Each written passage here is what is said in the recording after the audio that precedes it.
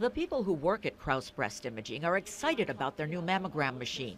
It doesn't look much different from what's being used now, but it will see images not in two, but in three dimensions. And that means a dramatically better look.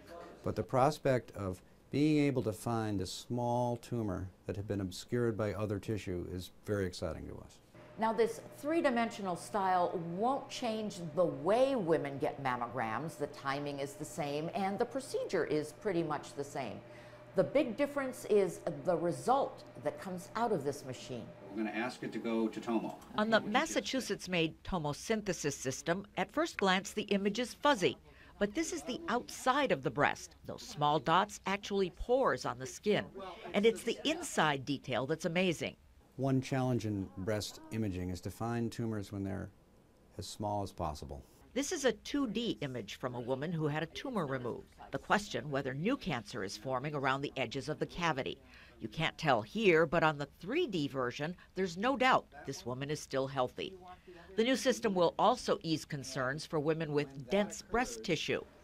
The technicians who work directly with patients will be starting their training tomorrow. Not that different. Basically, the positioning is the same. It's just the way that we handle equipment that's different. Crouse's machine cost a half million dollars. A foundation grant covered it and will make up the extra costs of doing mammograms if needed.